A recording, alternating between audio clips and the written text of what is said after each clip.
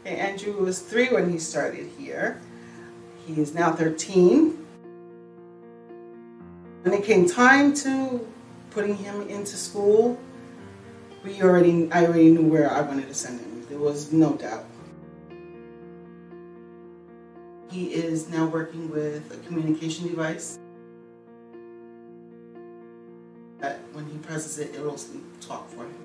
He blossomed through the years. He's been going leaps, leaps, and leaps, and leaps every year. This school has done amazing things when it comes to teaching Andrew how to communicate.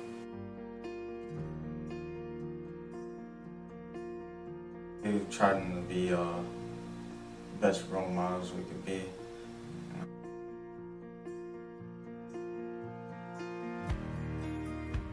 Uh, it's the Christmas shows. You know, every year he's always taking the, the spotlight. Doesn't matter what what song they're singing, Andrew has to be front and center. He stands right out. He loves to be in the spotlight. My experience here at, at Arc Kohler has been absolutely wonderful. When it comes to um, the support that we receive from the staff here, we've, they've never wavered. If something ever happened to me, I know that the ARC will be there.